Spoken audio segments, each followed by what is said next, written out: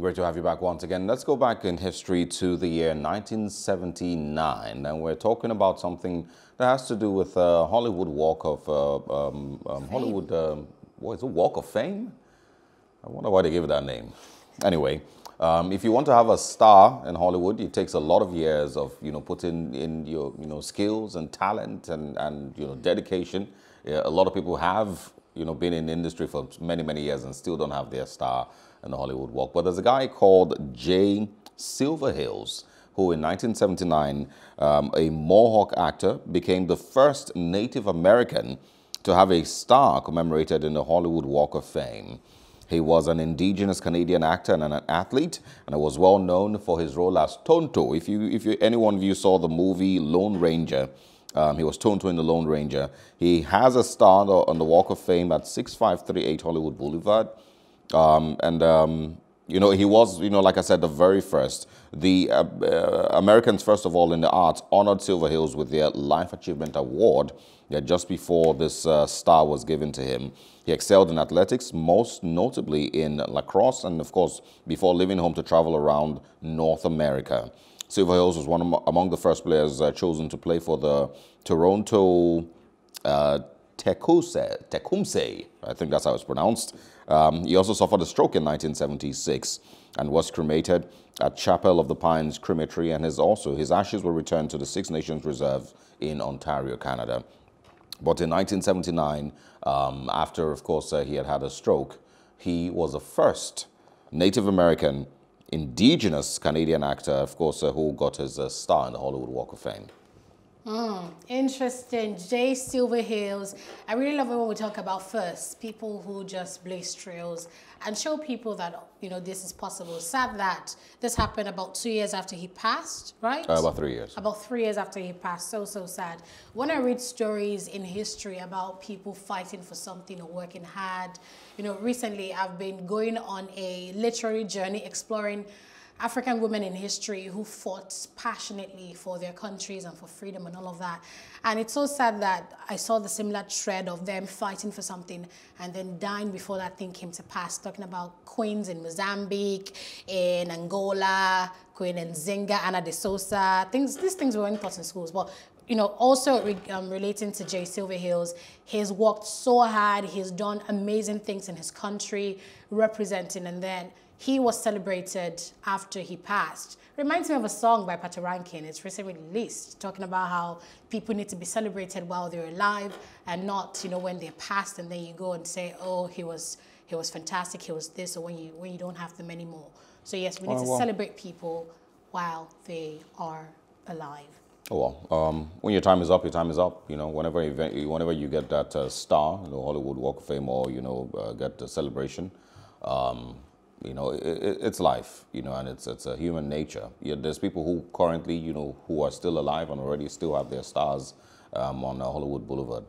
Um, so I think his case is just one of those. No, I'm not talking about the star now, like just generally appreciating yeah. people in your life. Yeah, I'm sure that he, I'm, well, um, you know, I, I, I wasn't there in 79, you know, but I'm sure that he definitely was uh, celebrated. There are some of the movies that he was in that are still, you know, classics still today. Mm. So um, rest in peace to Jay Silverheels. Interesting. All right. So I'm going back to the year 2012. It's just a recent history, July the 21st, 2012. And in this day in history, um, a Turkish-American explorer, adventurer, his name is Erden Eruç. He was the first man to circumnavigate the globe solo by using human power.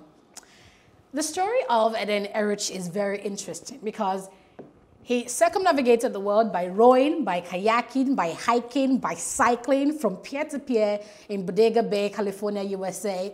This his journey of circumnavigating the globe lasted five years, 11 days, 12 hours, and 22 minutes. He began this journey in the year 2007, 10th of July 2007, and he ended on the 21st of July 2012. He cycled um, cycled across three continents, North America, Australia, and Africa. He rowed three oceans, the Pacific, the Indian, and the Atlantic Ocean. And it's just amazing, you know, listening to him, you know, when he just talked about his experience, saying, you know, the challenge for him was basically keeping his mind in check, being mentally fit, because it wasn't easy. Do you know what it means to circumnavigate the globe and to just row across oceans? You're seeing no one just rowing.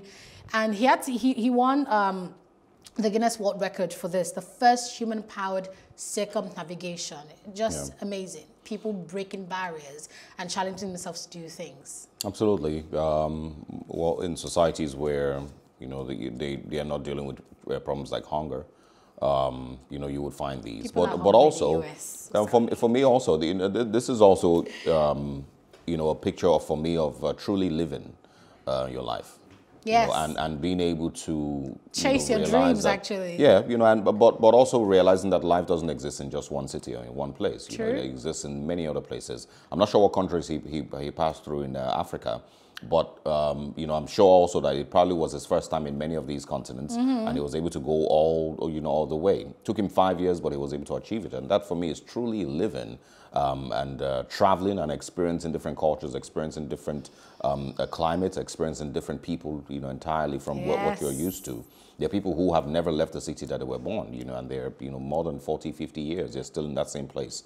Um, so, well, congratulations to him. Um, I, I also you know, I've heard of uh, a particular lady who tried something similar um, and didn't make it back. Uh, she she's she's uh, on record one of those planes when we when we heard about the MH370 uh, that disappeared.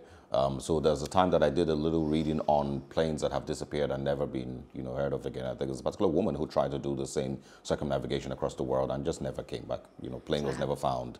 Um, she's you know gone basically, and that, that's a long time ago. Uh, but he was successful, and so congratulations to him. And uh, let's let's see what more we can achieve. Mm. Absolutely. We'll take a break here and return to discuss our first big story. All the papers are talking about it. It's about Sunday Igboho. What exactly, you know, is the reality, you know, the facts behind that arrest? The same for Nnamdi Kanu, people are still asking the government of the UK is still asking what are the facts. So, you know, questions really and that we need to get answers to. Uh, join us for that conversation after this break.